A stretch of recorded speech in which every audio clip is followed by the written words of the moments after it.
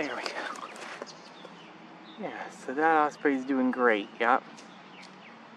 Okay, alright, I'm stop this recording now and you can just continue watching on this camera.